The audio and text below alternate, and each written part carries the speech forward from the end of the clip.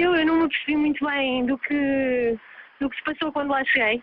Eu estava a enviar o meu trabalho perto dos armazéns do Chiado, quando, com o Zé Golão, ah, quando nós começamos a ver várias carrinhas da polícia de choque ah, na Rua Garré a chegarem e bastantes polícias a, hum, a subirem a rua.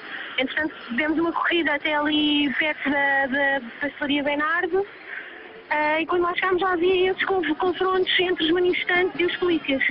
Aí fizemos o nosso trabalho, ah, começámos a fotografar e o que se deu foi que os manifestantes foram recuando até quase à entrada do metro, do Chiado, e hum, os polícias ficaram entre, com a esplanada entre os manifestantes e os polícias. E foi aí que se deu, se deu essa confusão toda, que foi que começaram a varrer literalmente a esplanada, a tirarem cadeiras, mesas, tudo, para cima dos manifestantes e para o lado, para todo lado.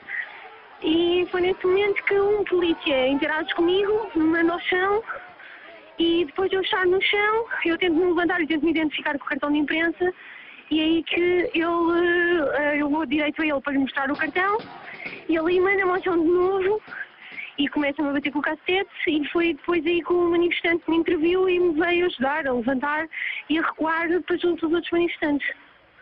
Estás bem? Foi essa a confusão. Estou? Estás bem, se houve, ficaste ferido ou... Não, tenho alguns. Estou, estou um bocado dorida no, no joelho, porque depois, como fiquei agachada no chão, ele bateu-me com o cacete, foi, apanhou o joelho e o cotovelo e tenho algum material danificado. Ah, mas eh, estou bem, não há nada comparado com o Zé. O Zé partiu a cabeça, está neste momento no hospital à espera de. Zé é levar o jornalista da, da agência Lusa. Exatamente, o Zé Sinagalão.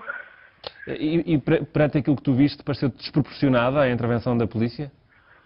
É o que eu digo, eu não estava lá antes, eu não vi que provocação é que foi feita pelos manifestantes ah, para, terem, para ter havido esta intervenção forte da polícia. Mas, agora, perante o meu trabalho e eu como jornalista, acho que sim, foi completamente despropositado.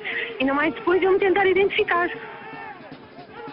Bem, Patrícia, obrigado por nos ajudares a perceber eh, estes incidentes que aconteceram durante a tarde. A jornalista da agência France Press, Patrícia eh, Melo Moreira, que foi agredida eh, pela polícia, aliás, como confirma uma própria eh, eh, foto divulgada pela agência eh, Reuters esta tarde. Também o jornalista da agência Lusa eh, está ferido, está nesta altura eh, eh, no Hospital de São José eh, a cuidar de ferimentos. Eh, Não há, indicação se são ferimentos graves, sabe-se apenas que são ferimentos na cabeça.